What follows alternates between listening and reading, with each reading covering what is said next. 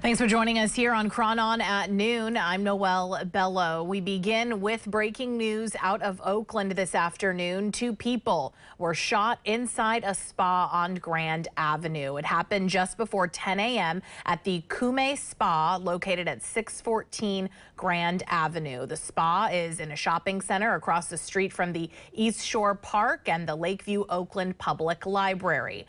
Here's what we know so far about this. Sources tell us a man and woman were shot and both are currently at the hospital. Their conditions are unknown at this time.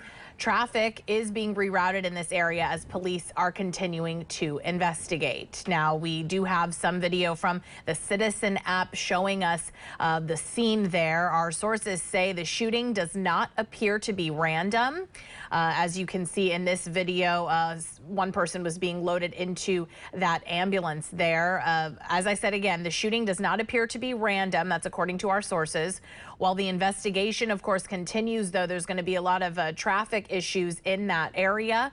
As far as public transportation goes, AC Transit has put out an alert. Buses are on a detour and they will not be stopping from Grand Avenue and Perkins Street to MacArthur Boulevard and Park Boulevard. And then for those riding AC Transit on the NL line to San Francisco, buses will not stop on Grand Avenue from MacArthur to Harrison Streets. Uh, again, two people shot at the Kume Spa there on Grand Avenue in Oakland.